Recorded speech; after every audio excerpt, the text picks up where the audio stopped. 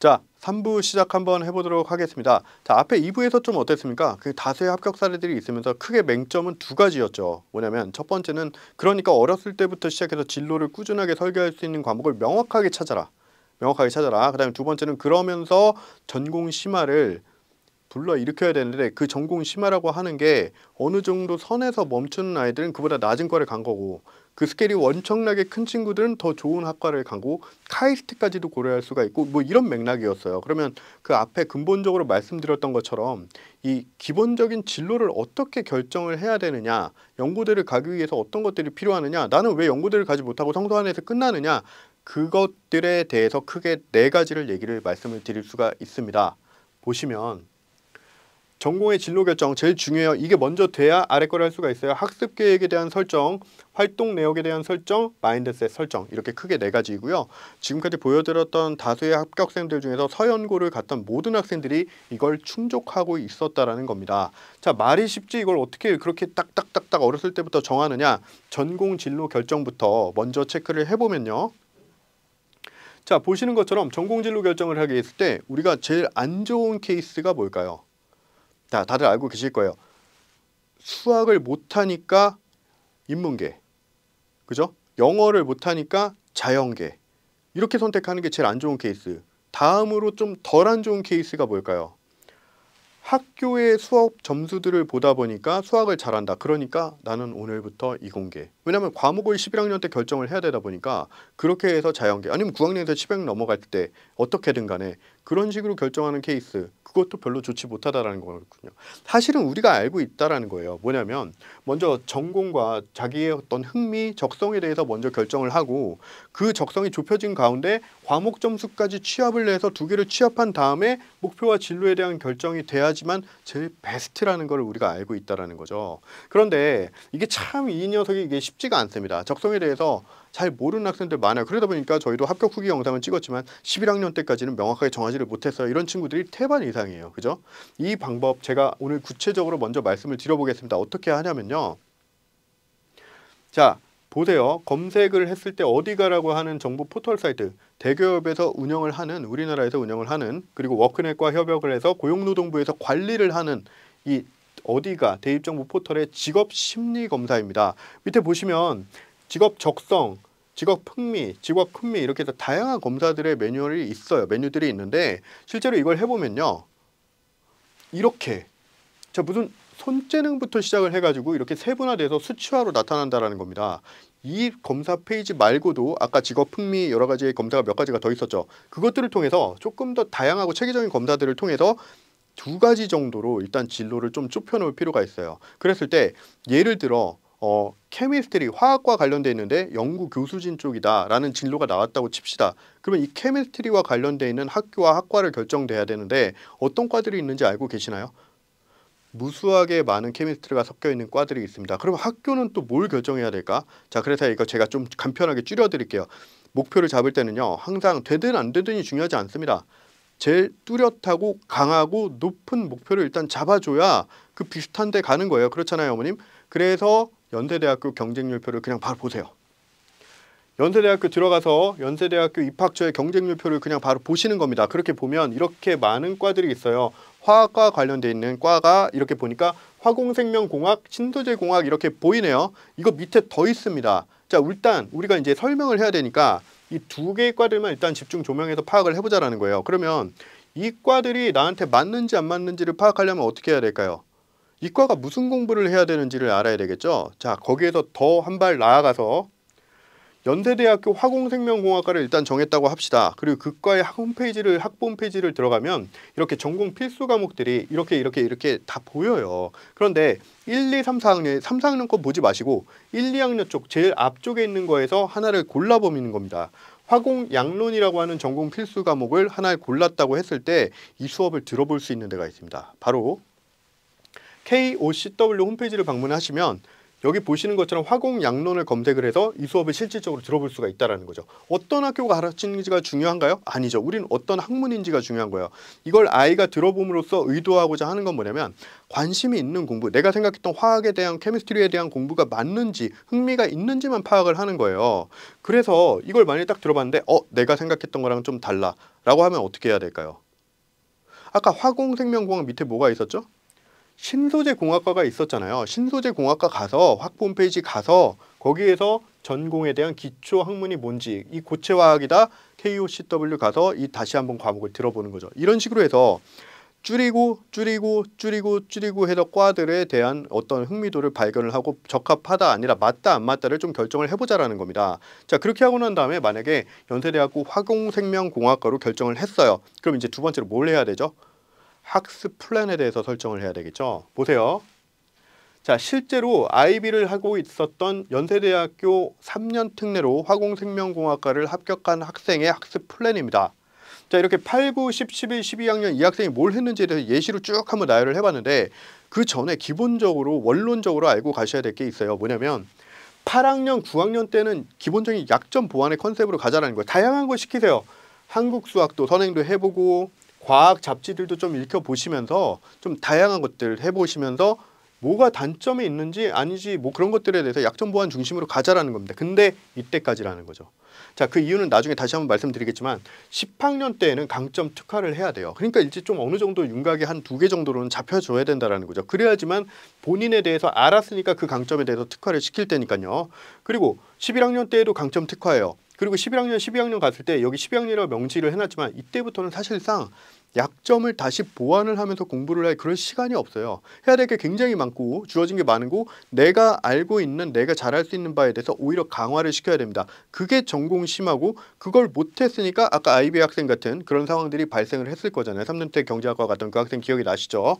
그래서 이 선택과 집중에 대한 것들을 이렇게 단계적으로 약점 보완할 때와 강점 특화해야 될 때가 구분이 되어져 있다는 겁니다. 자, SAT로 만약에 예를 들었을 때 학습 플랜에 대해서 설명을 좀 들여다보면 9학년에서 10학년 넘어가는 여름부터 시작을 해가지고 여름, 겨울, 여름인데 아이비 하는 학생이라고 예시를 들면 이때 아이비 때 선행을 해야 되죠. 2분의 1 여름방학이에요. 그러면 여름, 겨울 2분의 1 여름방학만 SAT 투자를 하고 IB 선행한 다음에 11학년 때 IB 1, 12, Year One에 대해서 몰입을 하고 난 다음에 predict score를 보고 나서 어 내가 IB를 계속 더 가면 되겠다 라고 하면 11학년은 계속 IB에만 집중을 하면 되고 근데 어 아니다. 이게 좀 맞지가 않아. 그러면 SAT를 앞에 받았던 거를 이때 시험을 봤잖아요. 그러니까 그 시험이 좀 더 가지고 와서 선회하는 방향으로 전공에 대한 어떤 심화 정도는 IB가 좀 맞지 않으니까 SAT를 선회를 하는 순간 표준화 테스트는 올라가겠고 학업 역량은 올라가겠지만 본인 전공은 좋지가 않으니까 또 이때 AP 보충하고 이런 식으로 상황에 따라서 맞게끔 대처를 해야 된다는 걸 말씀을 드리는 겁니다. 그리고 앞에 있는 SAT도 성공을 하고 뒤에 있는 IB도 성공을 했을 때 우리가 이제 합격 사례들에서 봤던 IB도 40점 이상, SAT도 1500점대 이상 이런 점수들이 만들어질 수 있다라는 거죠. 기본적인 윤곽 컨셉과 학습 플랜은 제일 잘한 학생들 중심으로 맞춰가려고 노력하되 본인이 조금 어떻게 여기서 조금 플러스 마이너스가 있을 때마다 상황에 맞게끔 대처할 것들이 필요하다. 라는 걸 학습 플랜의 제일 주요한 점으로 말씀을 드립니다. 너무 IB 학생들만 얘기를 했다고요? AP 학생들도 마찬가지예요. 여기 앞에 때까지는 일단 SAT와 영어 공부 열심히 하고 수학도 하고 과학도 하고 이렇게 해서 약점 보완, 강점 특화에 10학년 경계에서 그렇게 하다가 11학년 때부터 AP의 개수 늘리기에 집중을 해야 되겠죠. 하지만 여기도 룰이 있습니다. 뭐냐면 보통 아이들이 자기의 전공이 좀 제일 적합한 코어 과목들이라고 했던 것들을 나중에 하려고 하는 경향이 있어요. 어렵다라고 느끼기 때문인데 그래서는 안 됩니다. 왜? 단순하죠. 11학년 때 이 코어 과목들을 하고 3점이나 4점이 나면 12학년 때 재시험을 봐서 5점을 만들어야 돼요. 근데 12학년 때 그 코어 과목들을 하게 되면 어떻게 돼요? 3점, 4점 나왔을 때 그대로 입시에 써야 된다라는 겁니다. 그러면 이게 굉장히 말이 안 되는 상황이거든요. 그런데 이때 그 우여곡절을 알고 있어요. 한국 학교에서 보충을 할 때, 그러니까 독학을 해서 보충을 해서 AP 시험을 볼 때에도 그렇고요. IB 하는 학생들이 메이크업을 하기 위해서 AP를 할 때도 그렇고요. 이제 시작을 하려고 하는 학생들이 과목을 선택을 할 때도 그렇고요. 도대체 어떤 과목을 해야지? 왜냐면 같은 수학이어도 이제는 AP 프리칼큘러스까지 있으니까 Stat, Cal BC, Precalculus 어떤 걸 해야지 나한테 제일 적합할까? 그렇죠. 그런 것들이 좀 뭔가 선택할 수 있는 기준점들이 좀 필요해요. 그래서 제시를 한번 해보면요. 이렇습니다. 자 IB에 대해서 이제 진행을 할 때 이 IB의 오른쪽으로 갔을 때가 난이도라고 보시면 되고요 위쪽으로 갔을 때가 소요 시간이라고 보시면 돼요. 일종의 뭐 학습량, 진도 범위 이런 거라고 보시면 될 것 같은데 이쪽으로 갈수록 어렵다는 거예요. 난이도도 어렵고 그다음에 양도 많다, 오래 걸린다 이런 느낌이 이쪽으로 갈수록 반대의 느낌이라고 보시면 될 것 같죠. Computer Science Principle 보세요. 여기 있어요. 여기 있어요. 으레 이미지상으로는 어때요? 어, Computer Science, 코딩 막 이런 거 얘기 들었는데 되게 어렵지 않을까? 이렇게 생각을 하지만 기본적으로 챕터 자체가 짧고요. 왜 chapter가 짧으냐면 이론도 있지만 실기가 있어요. 컴퓨터 코딩이 있습니다. 그러다 보니까 이론 실기를 같이 해서 시험 총점을 내다 보니 이론 부분이 굉장히 방대할 수 없다라는 거예요. 난이도도 보시면 생각보다 조금 쉬운 쪽에 있다. 코딩을 배우는 거는 맞지만 코딩의 난이도가 굉장히 우리가 이쪽에 Physics 배우는 것보다는 그렇게 복잡하고 굉장히 그렇지는 않다라는 걸 말씀을 드리는 겁니다. 자, 그런데 이제 그런 거죠. 이렇게 중앙에 이렇게 밀집되어 있는 이런 과목들 같은 경우에 내가 인문계이기 때문에 이런 과목들 중에 하나를 선택해서 해야 되는 건 맞는데 어떤 걸 선택해야 될지를 몰랐을 때 요걸 이용하시면 됩니다.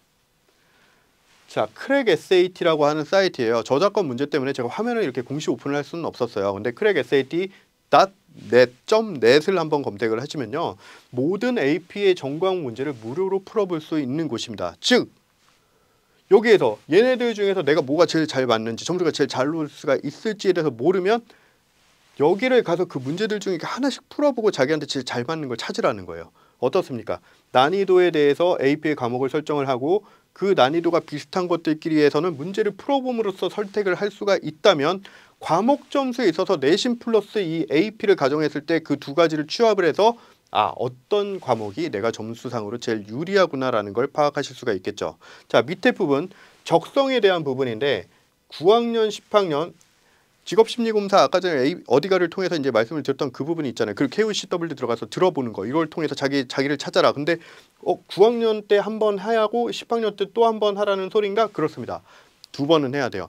6학년 때 한 다음에 12학년 때 입시를 확신하실 수가 있을까요? 아니죠. 어느 정도는 좀 성장하고 난 다음에 해야 되겠죠. 근데 두 번은 해야 된다라는 거예요. 우리 아이들은요. 6개월 6개월 지날 때마다 팍팍 변합니다. 질풍노도의 시기가 괜히 있는 게 아니죠.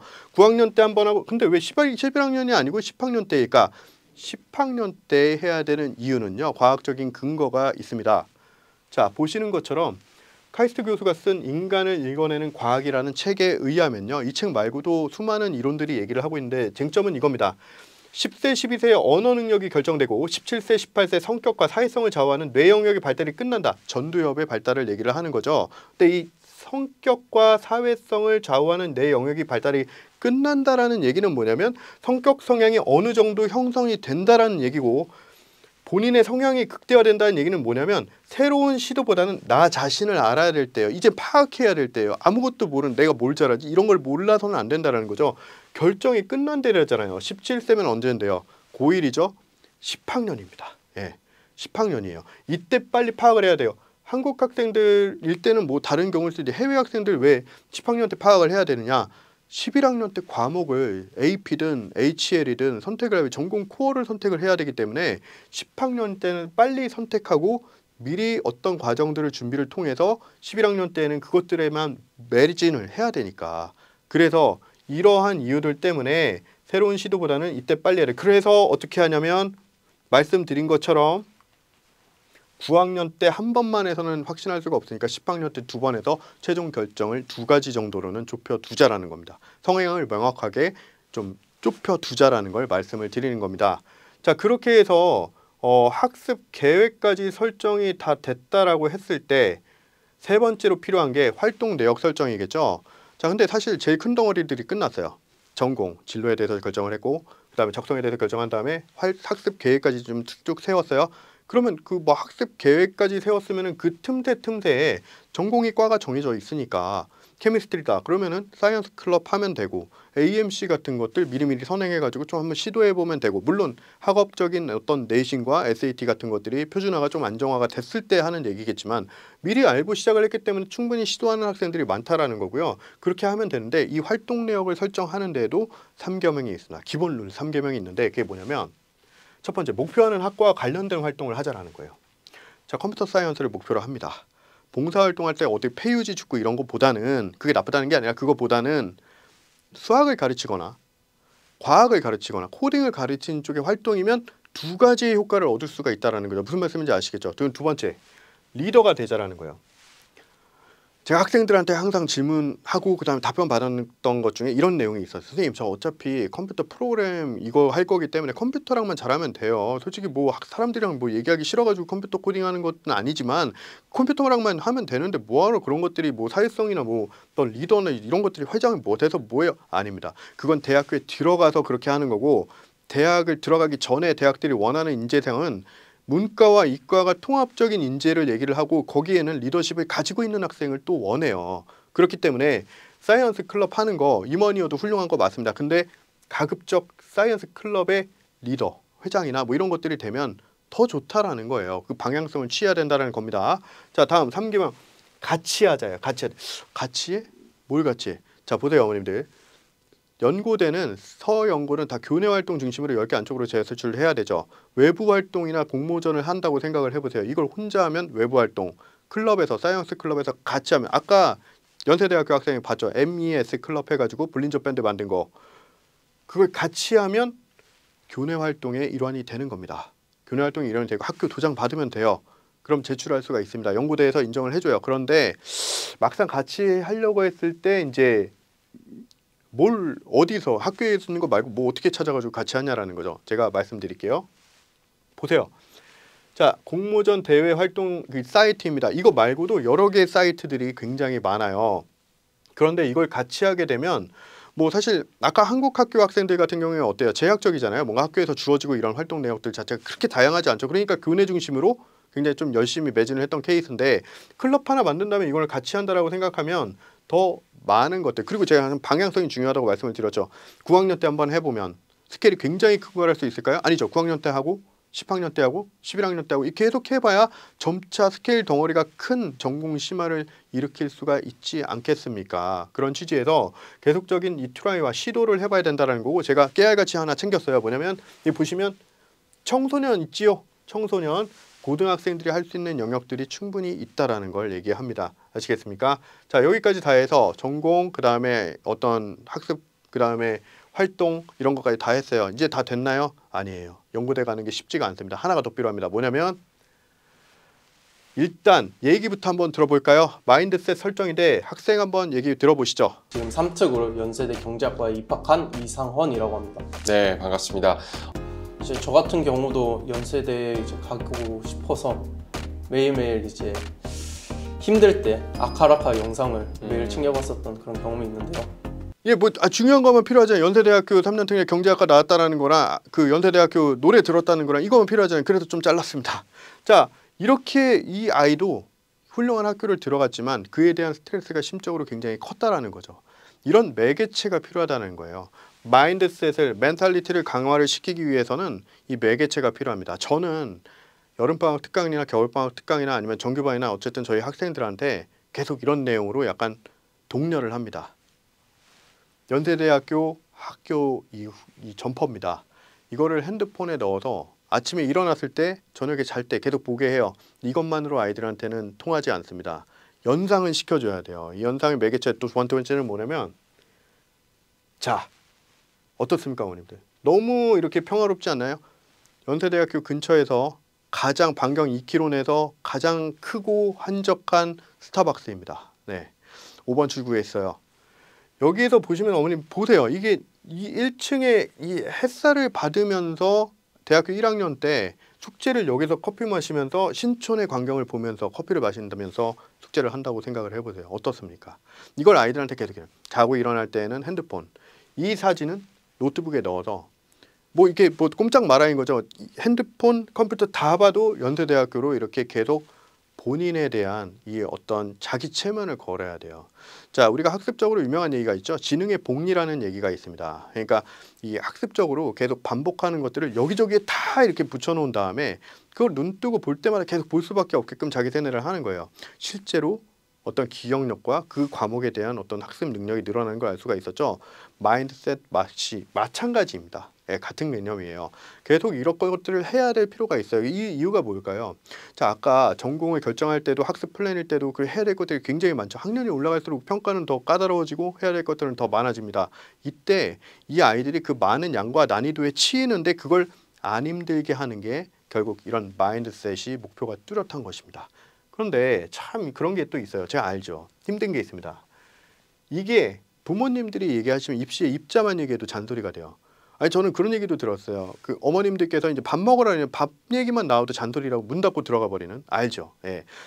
이 매개체들을 전달을 해줄 수 있는 멘토가 필요합니다. 이 멘토링 작업이 필요해요. 주변에 꼭 이걸 찾아보세요. 이건 부모님들께서 가급적 조성을 해주셔야 돼요. 학교 선생님이 됐든 도서관 사서가 됐든 학원 선생님이 됐던 누가 됐던 간에 이 멘토링을 해줄 수 있는 사람과 연결을 시켜주세요. 가급적 음, 학교에서 졸업하지 않은 선배들은 추천드리지 않아요. 그들도 약간 좀 질풍노도의 시기이기 때문에 힘들거든요. 그러니까 어, 같이 힘들 때 같이 힘들면 안 되니까 가급적 성인 중심으로 해서 이 멘토, 즉 제일 중요한 건 뭐다 매개체를 전달해 줄 수 있는 멘토를 학생에게 꼭 조절을 해 주십시오. 그래서 결국 이 학생이 마인드 세팅이 완벽하게 되고 났을 때 즉 네 가지 진로와 전공이 일찌감치 최대한 결정이 됐죠. 학습 플랜 설정이 됐어요.